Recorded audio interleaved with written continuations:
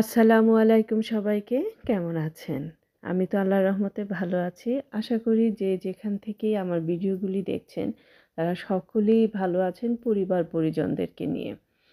আজকের ভিডিওটি যেহেতু রমজান মাস, আসলে আমাদের ইটালিতে আজকে তেরোতম রোজা চলছে।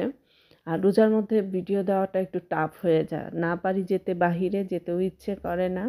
একটা গণ্ডির ভিতরে আর সারা বছর যেরকমই আমরা ধর্মীয় মানে কাজগুলি করি না কেন, রোজার মাসে সেটা একটু বেড়ে যায়, এটাই স্বাভাবিক।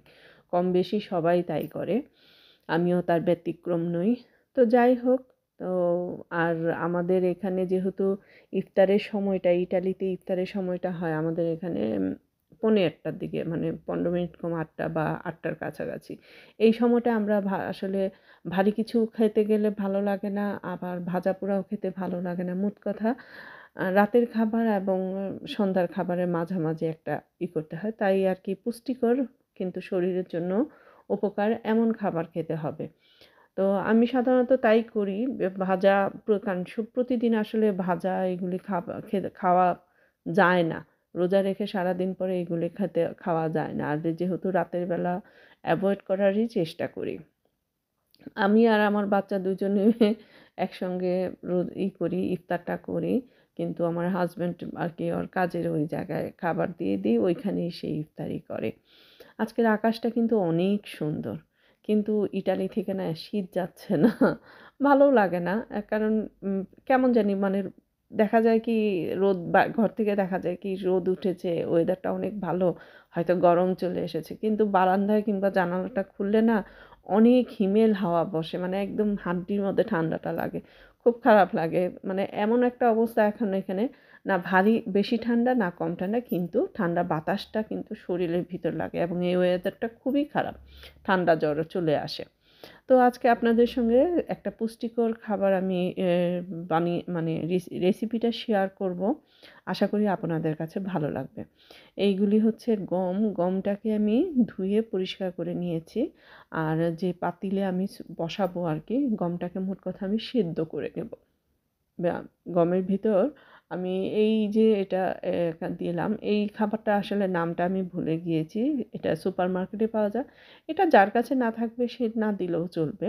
এখানে যার জির ইচ্ছা মতো ঘরে থাকা জিনিস দিয়েই তৈরি করা যাবে এমন আর কি রেসিপিটা, তবে পুষ্টিকর। আর ই, প্লাস আমার বাচ্চারা খুবই পছন্দ করে। মানে ওরা বলে যে মামা আমার আর কিছু লাগবে না। আমাদের আর এটা হলেই যথেষ্ট। খুবই পছন্দ করে। দিয়ে দিলাম। সাথে একটু লবণ দিব, লবণ দিয়ে সিদ্ধ করে নেব। এই যে আমি সিদ্ধ করে মোটামুটি এইট্টি পারসেন্ট হয়ে গেছে। তখন আমি একটু গাজর দিয়ে দিব। ইচ্ছা করলে গাজরটা কিন্তু কাঁচাও খাওয়া যায়, কিন্তু আমি এটার ভিতরেই দিয়ে দিব। এটার ভিতরে আপনারা মটরশুঁটি দিতে পারেন, তারপরে বিনস দিতে পারেন। পছন্দসই যে কোনো সবজি দেওয়া যায়।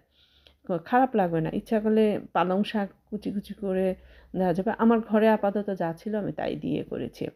সালাদ হিসেবে কেটে নিয়েছি শশা সালাদ পাতা এটা কি ধনে পাতা, আর একটু হলো আদা আর লেবুর রস।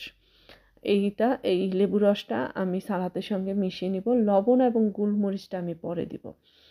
আর কারণ আমি যেহেতু এই গম সেদ্ধটার মধ্যে লবণ দিয়েছি, তাই আর বেশি কিছু দেব না। এই যে গম সেদ্ধটার মধ্যে আমি এখন গোলমরিচ, সরিষার তেল দিয়ে দিলাম। কারণ লবণ যথেষ্ট পরিমাণ দিয়েছি, সালাতে যদি লবণ দিই তাহলে সালাতে পানিও ছেড়ে যাবে আর খেতেও ভালো লাগবে না। ইচ্ছা করলে আপনারা কিন্তু এটার ভিতরে সেদ্ধ ডিমও দিতে পারেন। মাছের মাছ মাছ দিতে পারেন যদি আমিষ জাতীয় আর যদি নিরামিষ বুঝি হন তাহলে তো প্রশ্নই ওঠে না। কিছু দেওয়ার এই তো সবজি এই সালাডটা দিয়ে আমি মিক্সড করে নিব। এখন যার যে পছন্দ মতো এই খাবারটার ভিতরে ইচ্ছা করলে আপনার ফ্রুটও দিতে পারবেন। সালাদ, ফ্রুট দিয়েও খাওয়া যাবে। তবে আমার কাছে মনে হয়েছে যে, না, সিম্পলভাবেই যদি এটা তৈরি করে নিই, তাহলে খেতে কিন্তু ভালো লাগবে। এই তো গেল। রমজান মাসে কিন্তু ভালো খাবার খাওয়া যায় না, আর কোনো খাবারই এত বেশি ভালো লাগে না। তাই আজকে একটা মুখরোচক খাবারের রেসিপিও আপনাদের সঙ্গে শেয়ার করব। এটা হচ্ছে পুলি পিঠা মানে আমি ই করিনি, ধনে পাতা, মরিচ আর রসুন একসঙ্গে বেটে লাউ পাতার ভিতরে দিয়ে দিয়ে মানে বলে নিয়েছি যেভাবে আমরা পুলি বানাই বা লাউ পাতার বড়া বানাই। এটা এই যে একটু লবণ ছিটিয়ে একটু আগে একটু সিদ্ধ করে পরে উপরে একটু তেল দিয়ে ভেজে নেব। খেতে কিন্তু অসাধারণ লাগে। আমি খেয়েছি বলেই বলছি, যদি না খেতাম তাহলে কিন্তু বলতাম না। তো এটা ছিল গতকালকের আকাশে সূর্যটা যখন ডুবু ডুবু করছে, আকাশে মনে হচ্ছে দেখছেন, দেখা যাচ্ছে একটা মা তার সন্তানকে আমরা যেভাবে ঘুম পাড়াই না, পায়ের উপরে শুয়ে, ঠিক ওরকম লাগছে, তাই না? অসাধারণ লেগেছে, আমার কাছে তো তেমনই লাগছে। মানে মা আর বাবার, মা বাচ্চার যে খেলাটা, এরকম। তো আজকের ভিডিওটি আপনাদের কাছে কেমন লাগছে এবং কে কোথা থেকে দেখছেন কমেন্টের মাধ্যমে জানাবেন। তাহলে আজকের জন্য আপনাদের কাছ থেকে বিদায় নিচ্ছি। আল্লাহ হাফেজ।